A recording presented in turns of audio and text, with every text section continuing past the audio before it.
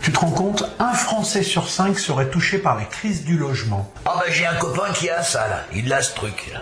Ça quoi? Bah la, crise du logement, ou c'est la crise d'épilepsie, je confonds toujours les deux, je sais pas, un des deux. Désolé. Hein, qu'est-ce que tu dis? Un non, je regardais de... Ah bon? Ah tienne. Moi c'est la crise du choix que j'ai.